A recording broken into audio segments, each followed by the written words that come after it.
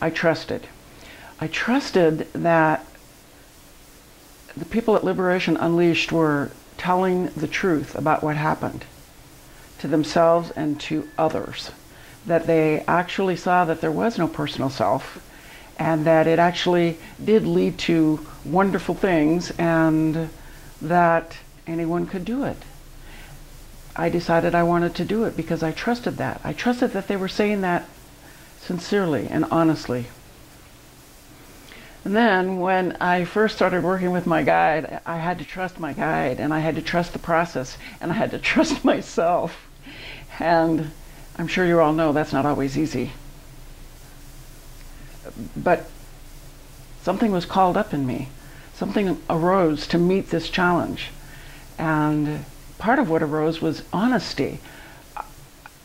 I'm just like everyone else. I'm not always, or I wasn't, the me that was, always honest. Not every single moment. And there I was, understanding and acting from true honesty because I knew it was the only thing that was going to get me there. You can't fudge with yourself and expect things to work out. That, that never works. And probably the biggest thing that got me through the gateless gate was I was on fire. There wasn't anything else in the whole world I wanted to be doing, to be thinking about, to be feeling, to be pondering, to be contemplating than is it true? Is there no I? I went through the gate over the Christmas holidays. And it was a very busy time.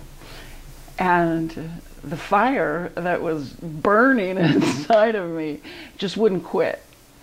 I even traveled and responded to my guide via laptop in a hotel.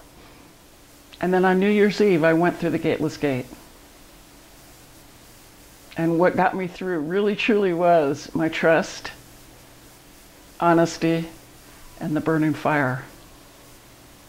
And those three things, plus the things that you already have, will get you through too.